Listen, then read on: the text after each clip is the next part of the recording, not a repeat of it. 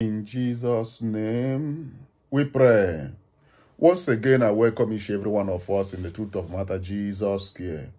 Our message: Jesus cares. Jesus loves you.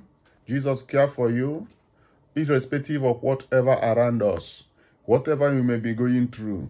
Bear in mind that Jesus is aware of that and He loves you. Jesus loves you. That is our message. And I welcome you in the truth of matter. Jesus care. We are gonna look the message that says God's trusting God's timing. God's time is the best. Sometimes it seems like God coming late on aboard on his promises. If you wait, if I wait, patiently wait, God's time is best in all things and at all time. God have no lateness because God time counted not. God is the creator and embodiment of the times. So he can change time, he can bring time back, he can bring time forward. What matter that God's time is always best in your life. In our life, if you wait. Example, if we can go to Bible, if time permit, we find a man like Abraham. God made a promise in Genesis to Abraham and that what is promised, he first called him to separate himself among his kindred. What we can use to replace the kindred today. Separate yourself for unworldly people. Separate yourself for those things or things. You know, the Bible make it clear. Money answer all things, but the same money is the root of all evils. So, it's not that money is evil, but he's a lover of the monies. So where anything you love so much is what the Lord God call you to separate yourself out of that. Because that will turn to be like adultery, idolatry before you. Before you know it, it will serving that which you love so much or cherish so much.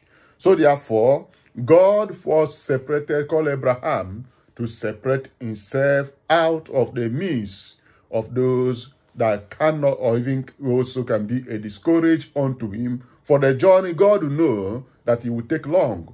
God know that it's not something of two years three years. God already programmed everything. So that is why i bring us a message that god's time is the best. Now remember when abraham answered this call and come out of his kindred and come out of families come out of the well-wishers and friends, he separate himself to the journey where he have received, even by the dream. Now, question is this. Abraham know not where he going, but Abraham saw himself or vision the person, the place, but is a dream, but he obey. Now, promise letter come to Abraham that Abraham you will surely have a child, not only child, but the nation will come out of your loins. And Abraham also foolishly, because if he will serve God, he must serve God foolishly and believe and follow obediently. People might laughing as it was in the day of Noah. That is what we call obey and follow foolishly. Noah followed the, the instruction of God foolishly and people laugh and people move or whatever, whatever word was coming. This also can be in your and my life. But how we respond in this call, when it come, is what matter. The call may not come unto you or unto I as it come to Abraham or as, uh, as Isaac or as Jacob. It may not be like Noah. But if you pay attentively to listen for the still voice, there are many still voice that are speaking to every child of God. Whether you do anything good or evil, that voice must whisper to you. So important, are you listening? Are you willing to listen that voice? That is what important. We hear about Samuel calling. I want to assure you is not that there is a voice that coming everywhere, but someone hearing this still voice calling him. Calling him. So therefore, Abraham was meant and commanded by God that he will have a nation. You must tell Abraham, wait in appointed time. But as we can find in a human being, time, we have time of everything. When that time no coming, some will choose to do their own will. That is what happened in the time of Abraham. A time come that some ideas coming around, even by his bone of a bone of his bone, a wife, and Abraham said, call, and Abraham accepted the such advice, which we find Ishmael today. So therefore, eh, when you choose to play your own will, get ready to make mistake. That is a mistake that Abraham find himself that lead the entire world into the same mistake today. Just simple, obedient, but he cannot keep it. So therefore, I want to encourage each every one of us that listen. The time may be so rough, things may be so ugly, things may be so difficult, but in what matter do you believe that God continue work wonders? Do you believe that God will change your stories in a tangle of eyes? That question you need to ask yourself. And I advise you that that is what you need to believe. And that's what you need to follow and wait patiently. Because any person, not I didn't say child of God, because there no one that have born and born with Holy Spirit. No one have born as a Jesus Christ. It's by your own will you choose to serve God. There's no force, there's no obligatory obligation, obligatory that you must you choose because you want to make heaven. You want to be with him that created you. So therefore, you must also learn how to be patient in the thing of the Lord. Listen, it can even be things that concern our health. You have visited hospital, no medications are working, all things are going against your desire. I want you to know, hand that thing over to Jesus for a carer for you. God, who you and I didn't know right from beginning. And the father said that even their children bear witness that they are those that killing the prophet, even the Lord God sent to them. But in that, God give only begotten son. Not that is have hundred, one. But you ask yourself question, if you are a, true, a truly parents or father or mother, what can that will make you to offer your son to your enemy, to those that hate you? It can't happen. Whether I have them hundred, whether I have them thousand, to give to your enemy, not because of your thing that you're expecting to gain. Jesus just wants you to be in heaven. So therefore, my advice is a patient in all things. You may struggle today and. Believe that tomorrow you will make it.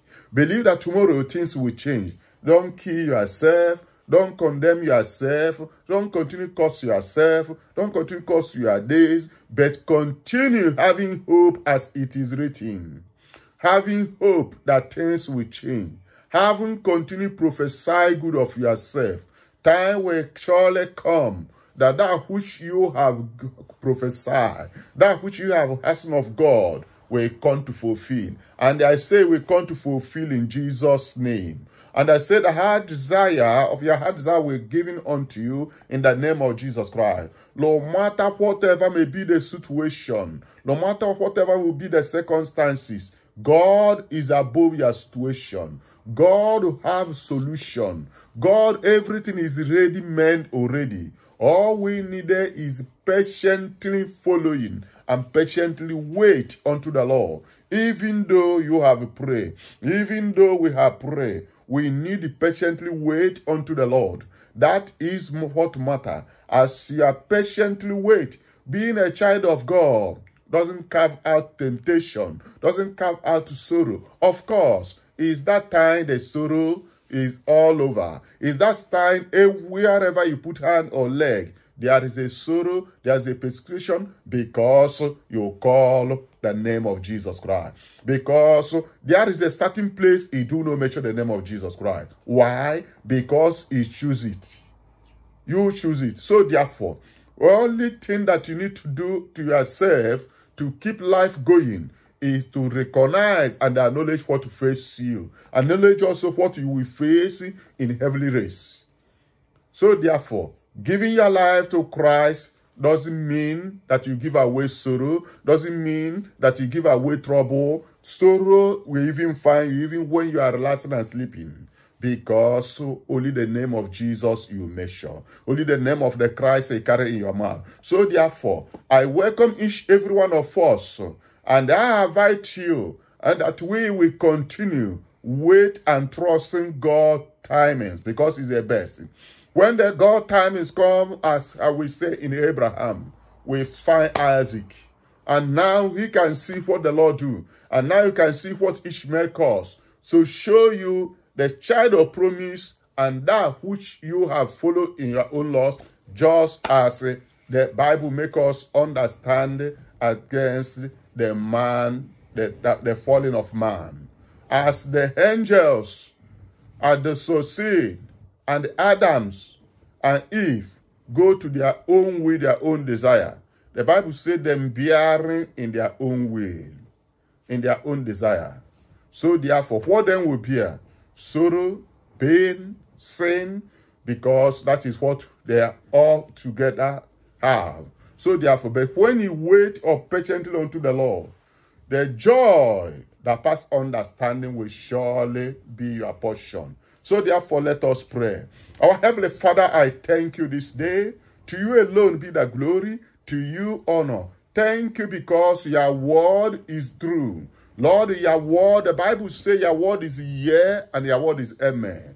Lord, you are the beginning and you are the last. You are embodiment of all. In you that all things are created. There is no anything exists on this earth that exists without you. So therefore, Lord, solutions and understand and blessing is into your hand. Lord, with that Father, pray as we are patiently wait, as you commanded us to wait in Hebrew, having hope, as we are patiently do it, Almighty Jehovah. Lord, I pray that the gate of the heart desire will be open unto your dear children, those that will wait, those that will recognize you are mighty and you are great, those will recognize you as there is no any other God.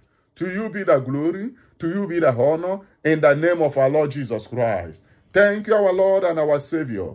In Jesus' victorious name, we pray. In Jesus' name, we pray. So therefore, we remain a truth of matter. Jesus cares. Our message, Jesus care.